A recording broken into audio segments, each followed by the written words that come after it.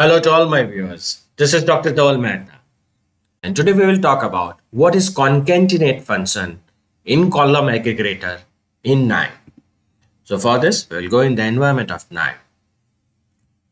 And I'll activate input and output in that I'll activate read.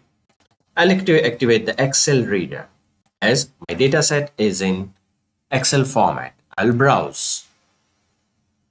I request all my viewers to kindly refer my previous videos to understand the flow of this lecture series. So, I'll select customer churn data, which is in Excel format, and press apply, click OK.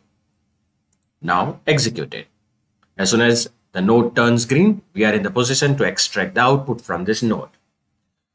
We want to do the aggregation, that is the column aggregation. So for this, I will activate column aggregator.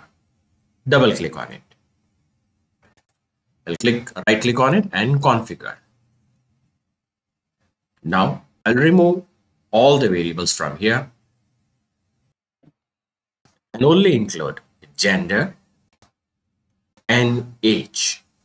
Now I'll press on options. In this, I'll activate concatenate. Press apply, click OK. Right click on it, execute.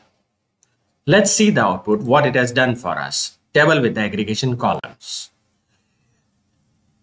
Gender and age, they both were in separate columns.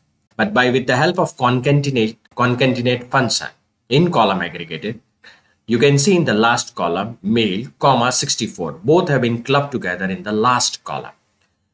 So this is what concatenate function is there in column aggregate, column aggregation in KNIME. For more videos on KNIME, kindly subscribe to my channel. You can follow me on LinkedIn and Twitter. Please refer my playlist in which I already uploaded many videos on KNIME.